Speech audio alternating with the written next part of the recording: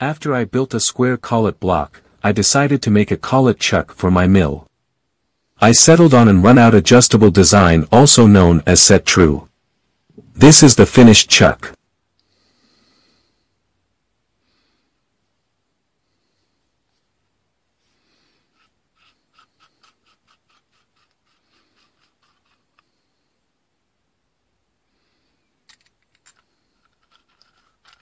I built this milling machine in 2005 and it sees almost daily use.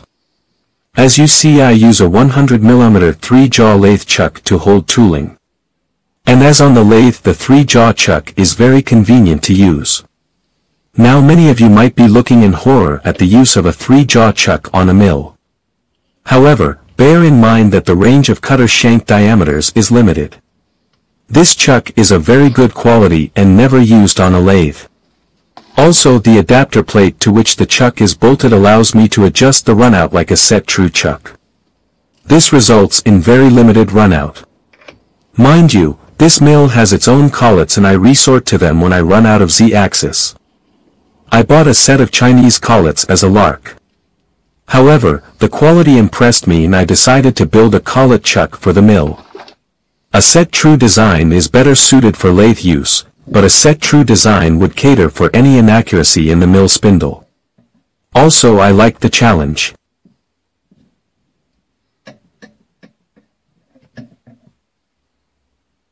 The mill I built has a proprietary taper similar in shape to an R8.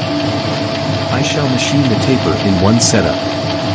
Here I am turning down stock.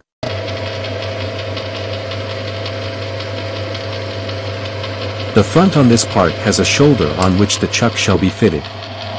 I fitted my lathe with an auto carriage stop which makes repetitive cuts much easier.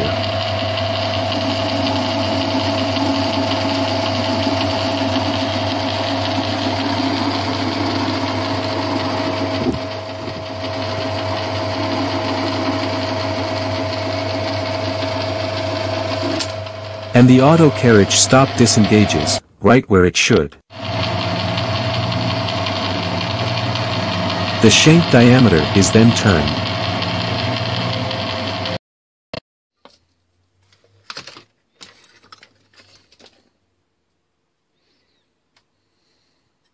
To cut the taper, the dial indicator is set square to the compound.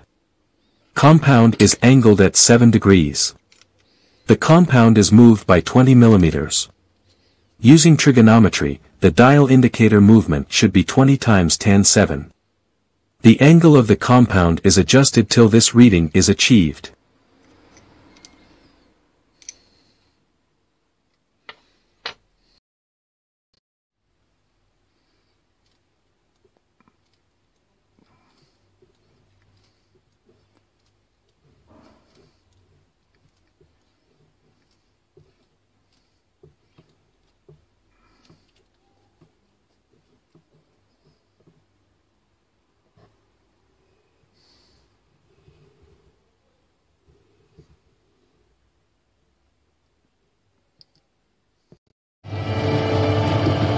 The taper is then cut.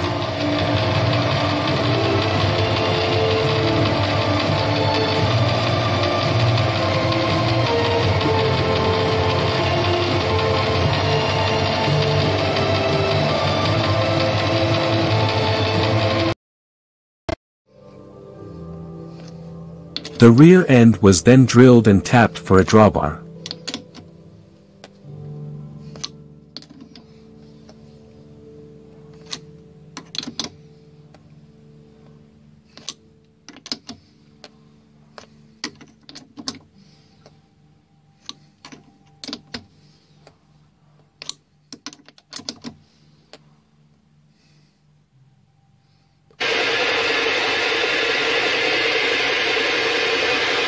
Finally a flat which shall engage with the mill spindle internal key is cut.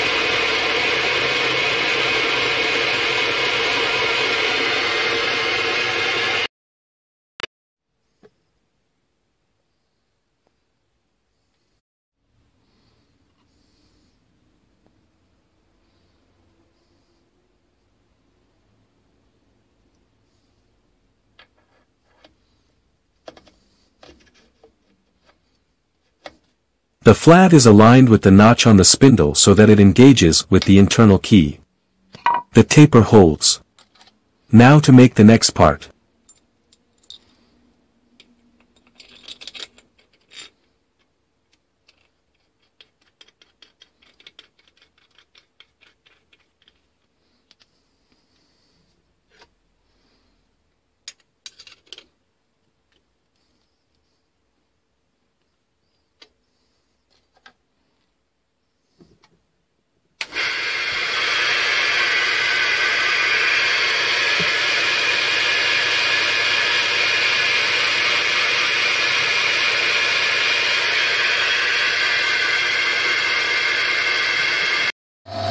This collar shall house four screws used to adjust the chuck radially. Here I am cleaning the bore of this section of seamless tubing.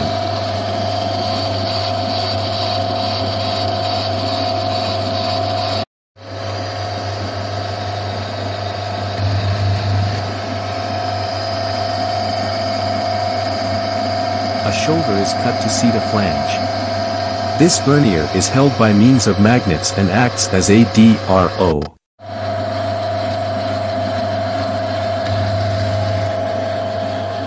Finally the outside diameter is turned.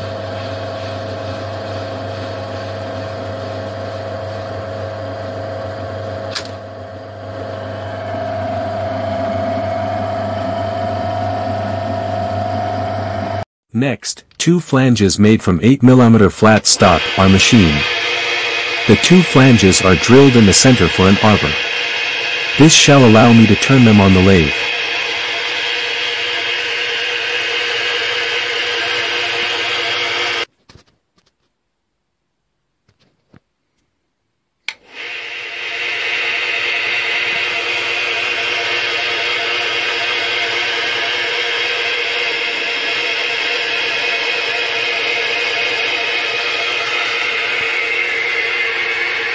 Here I am setting the mill's power feed.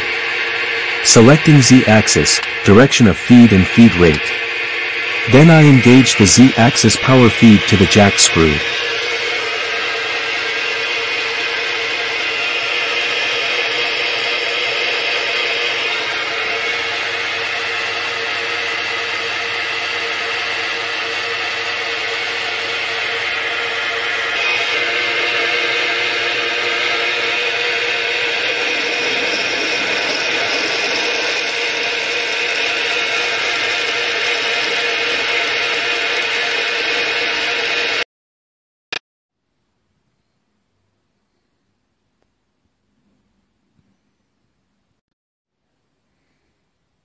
The excess material is cut off and the flange to be, is fitted on the arbor. The flange is then turned and faced.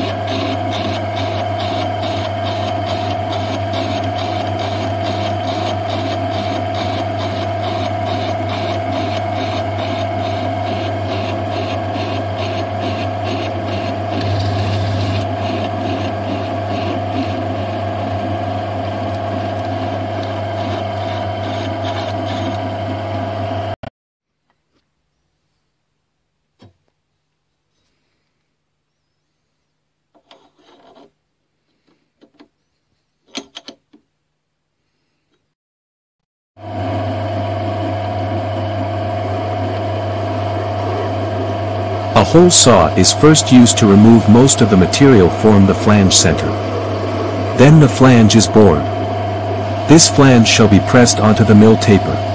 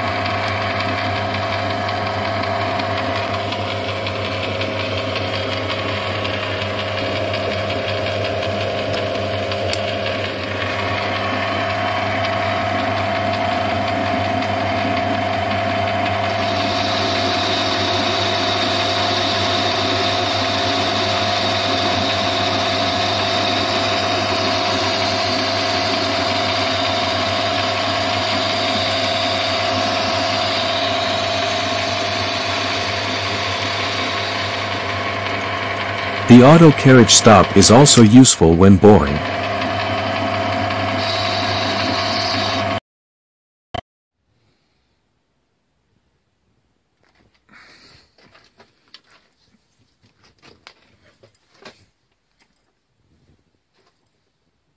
The flange is pressed onto the mill taper.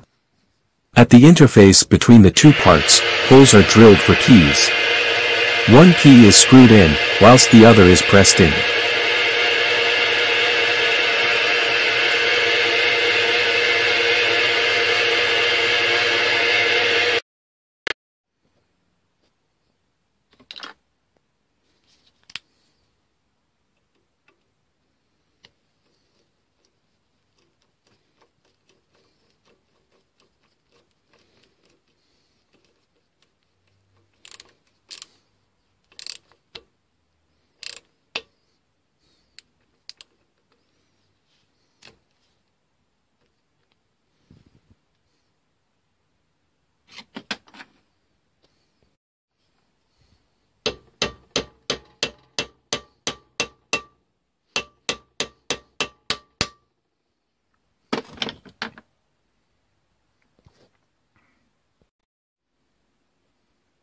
In order to prevent imperfections in the mill shaft, the face of the flange shall be turned on the mill. The mill shall be used as a lathe. The X-axis power feed is selected.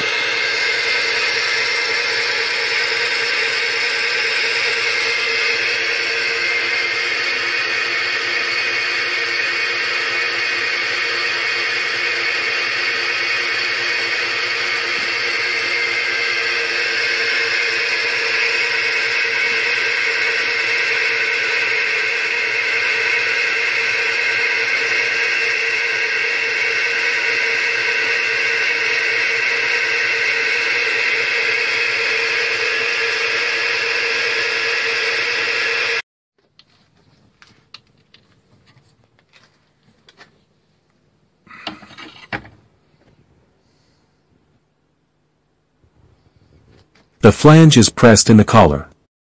Two plug welds ensure retention.